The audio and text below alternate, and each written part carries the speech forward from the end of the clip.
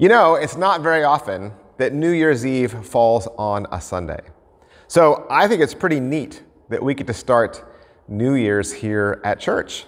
Uh, truly, there's no better place to face the new year, to face the things that are lying ahead, than in God's house.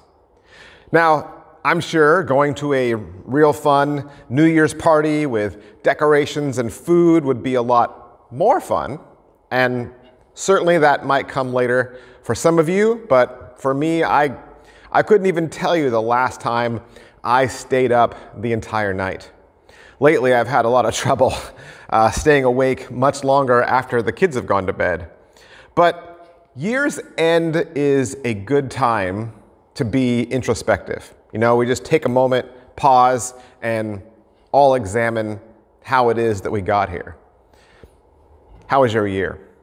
Some might smile and nod and say, it's pretty good.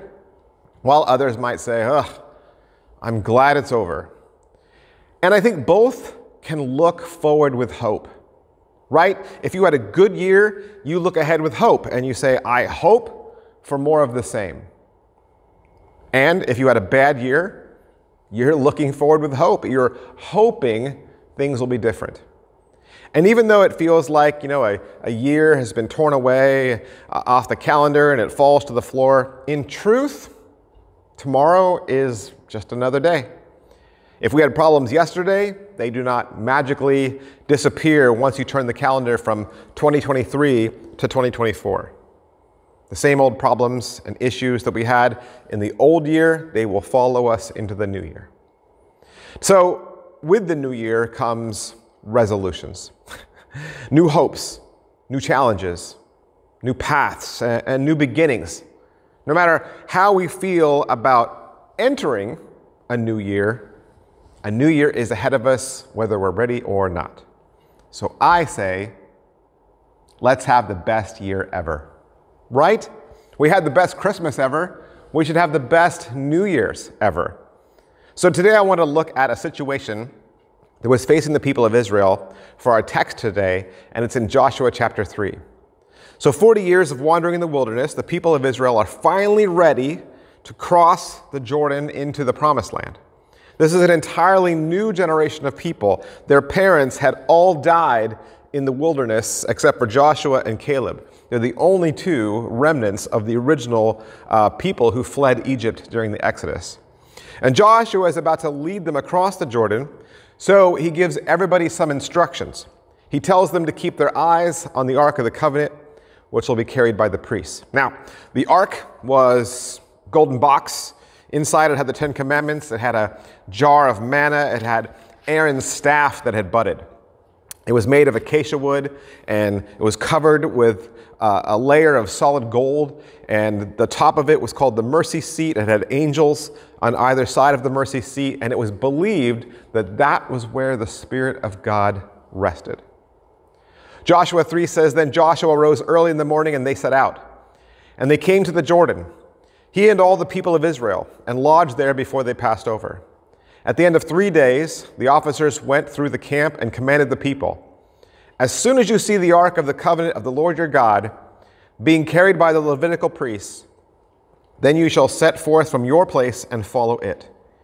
Yet there shall be distance between you and it, about 2,000 cubits in length.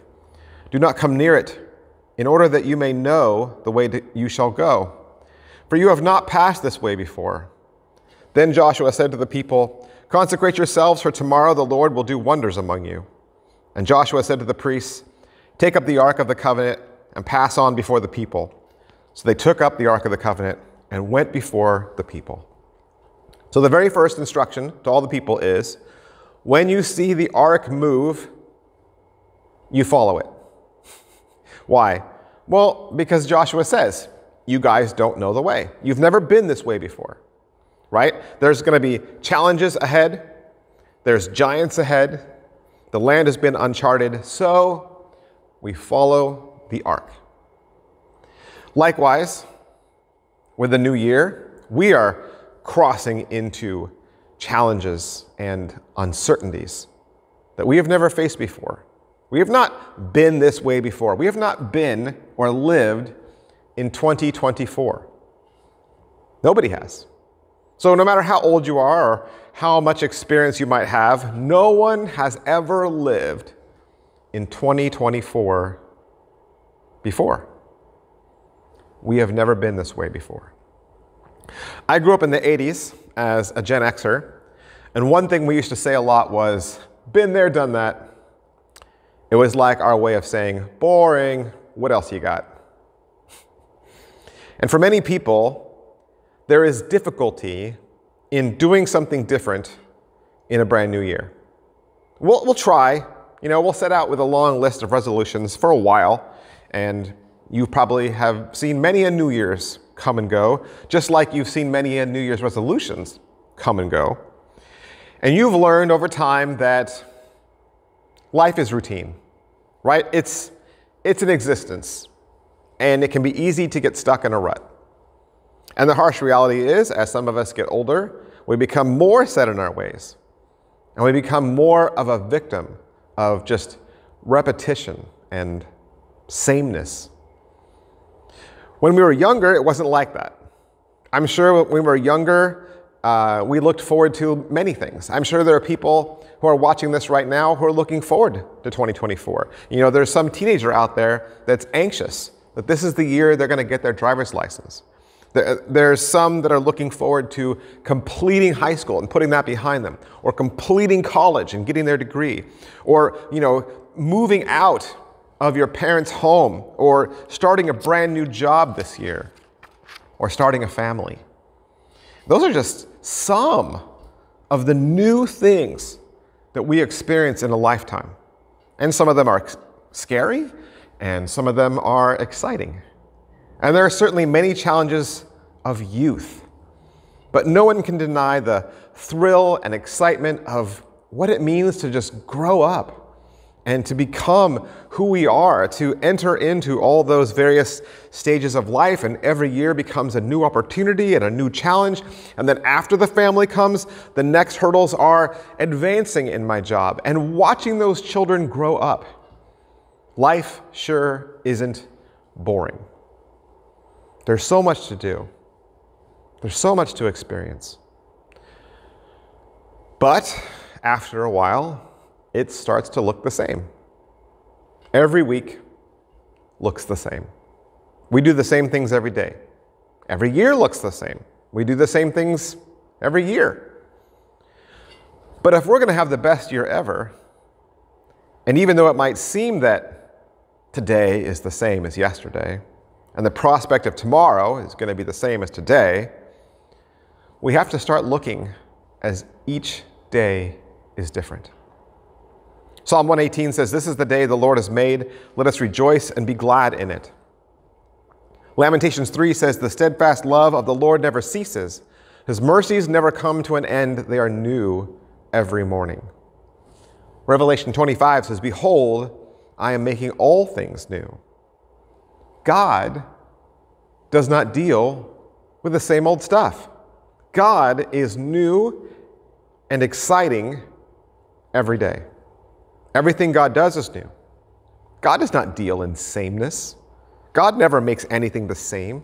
Each flower in the field is different and it's distinct from all the others. Each leaf on the vine is different from all the others. Every snowflake that falls so gracefully to the earth is different from all the others. No two people are the same. We are all made differently.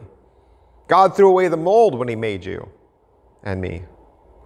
Likewise, every day God makes is different than the day before. Each year is different than the year before. So 2024 is going to be different from 2023. This is a new day and a new year, and we have never been this way before. So let's make it the best year ever, right? Why can't it be? It doesn't have to be the same as last year. We don't have to do the same things we did last year. Why not search out new choices? Let's not do the same old thing in the same old way. Yeah, a life with no purpose can be boring, so let's find a new purpose for living. Joshua was taking the people out of the wilderness and into God's promises. So the people of Israel could not live the same way they had lived in the wilderness. They, they were in a promised land now, and there was new work to do. There were new enemies to conquer. There, they were no longer nomads, wandering from sand dune to sand dune. Now there's homes to be built. This is not business as usual. They had never been this way before.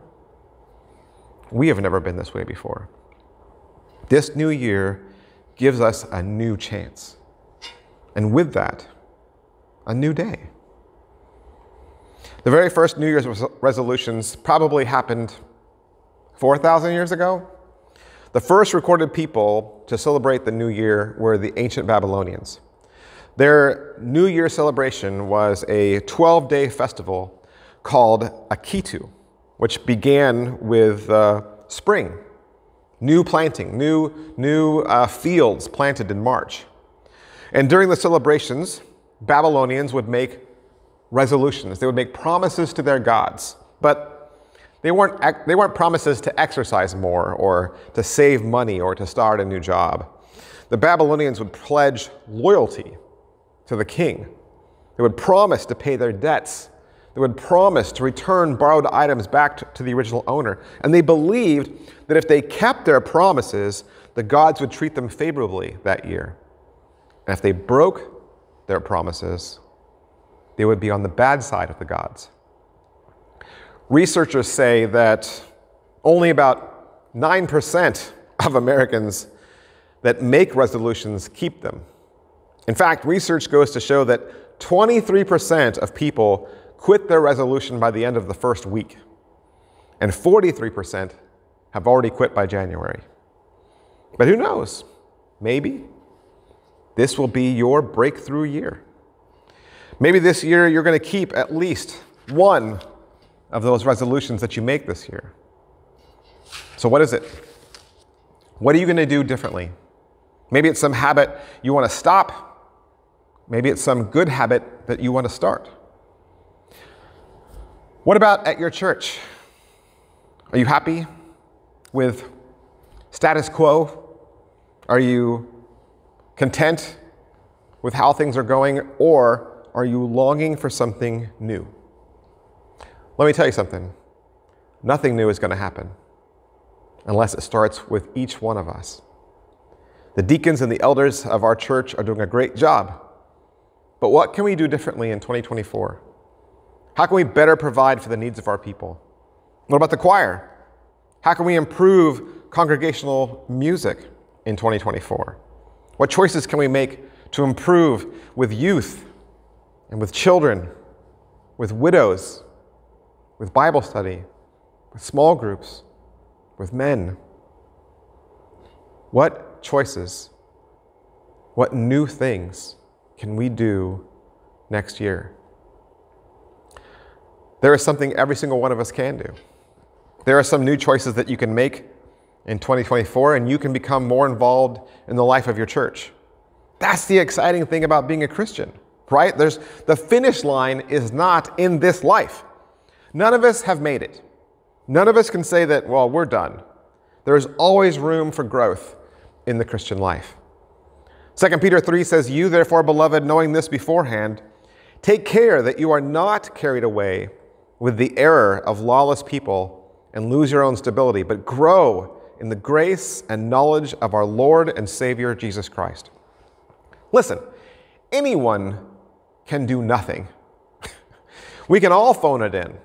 Relax, take it easy, let other people do all the heavy lifting. But the choice to grow in the Christian faith is up to us. And when 2024 is over, wouldn't it be so much better for every single one of us to be able to say that we were now a little closer to Jesus Christ than we were the year before? And true, we don't know what we will face in 2024. We don't know what things face us in 2024. We don't know what circumstances will change in 2024. And the unknown can be scary. Some of you have felt yourself growing weaker this past year. You're not as strong as you used to be. How are you going to face those new circumstances in your life? Maybe the doctor has told you that you should be taking it easy now, going slower, You got to adjust to this new way of life. This is new for you. You've never been this way before. Have you heard of Peak 65? Peak 65 is going to happen in the summer of 2024. What is Peak 65? It's a demographic blip, but it will be a huge implication for our society and how it operates. Right now, more than 10,000 people in the US turn 65 every day. More than 10,000 turn 65 every day. And that, that number will peak right about at 12,000 in the summer of next year. Why?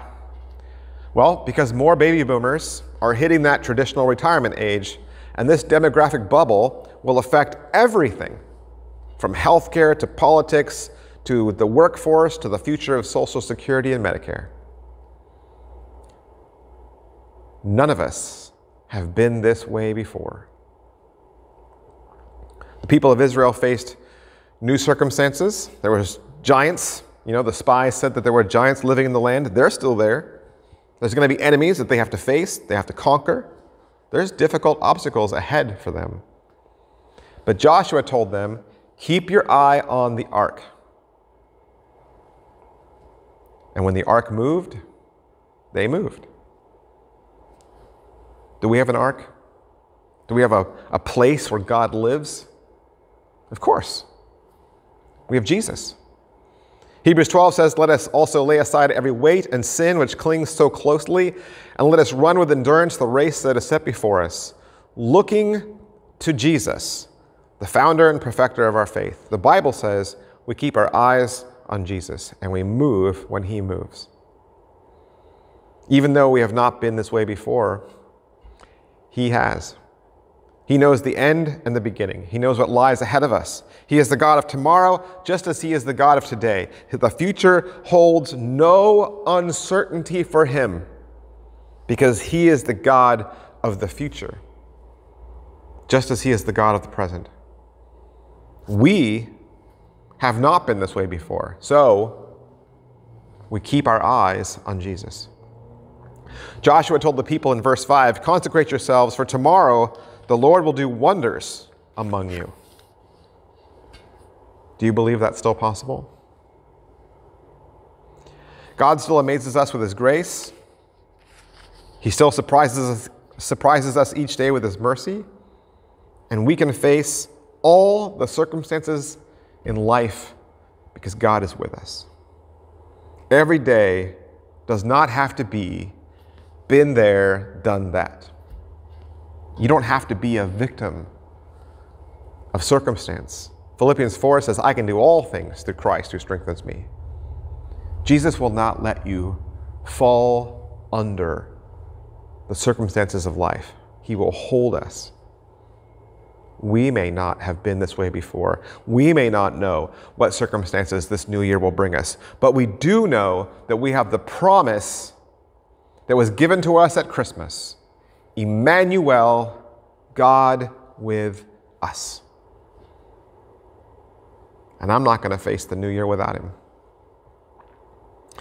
You know, the year has changed, but God has not. His mercy and goodness have not changed, and they are as certain as they have ever been. He is still just as reliable this next year as he was this past year. He is still as loving as he was in 2023. He is still as powerful as he was in 2023, and he is still as faithful as he was in 2023. He has not changed.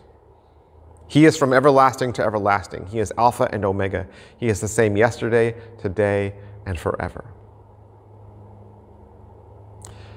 Let's end the year with a thankful heart. And let's start the new year with peace and faith. Let us release any bitterness from last year. Release any frustrations from last year and let us move into the new year knowing that God loves us and He wants the best for us. Let's pray that the new year will be focused on growing ourselves, growing through Jesus, following Jesus, and building His church. We can bring the light of hope into the people of our community and the people of our world, and we can have the best year ever. Let's pray. Heavenly Father, thank you for making all things new. And as another new year begins, help us to live each day for you. May we continually have a new song in our hearts to sing to you, no matter what comes our way. We trust you because we know that your mercies are new every morning, and nothing that lies ahead ever takes you by surprise. At the start of each day, help us to recognize you above all else. Enlighten the eyes of our hearts so that we might see you and notice how you are working through our lives. Give us the wisdom to make the best choices and fill us with desire to seek after you more than anything else in this world. Let your spirit and power breathe in us through us again, fresh and new. And as we face the challenges of this coming year, grant us strength and courage. Help us to rely on your mighty power and to find our refuge in you. May we be steadfast in our faith, knowing that you are our rock and our fortress. Thank you that you are greater than anything we may face in our day. Thank you that your presence goes with us and that your joy is never dependent on our circumstances, but it is our true and everlasting strength no matter what we are up against. We ask that your peace lead us, that would guard our hearts and minds in you. We ask for your grace to cover our lives each day. We love you, Lord, and we follow you. In Jesus' name, amen. Hey, we're so glad that you came out to worship with us today, and we hope that you are just as excited about this coming year uh, as we are. And so we are here. We are here every Sunday, and we would love to have you join us and to be a part of this church. We want to be the church where you live. We have two services on Sunday morning. We have one at 9:30, it's a traditional service. We have a choir. We're going to sing hymns. We're going to say the Lord's Prayer. We're going to have communion. It's going to feel just like the church that you grew up in. And then at 11 o'clock, we have a contemporary service. We have a worship team. We sing contemporary songs. We have a full program from children all the way through high school. We would love for you to be a part of our community. We'll see you guys next week.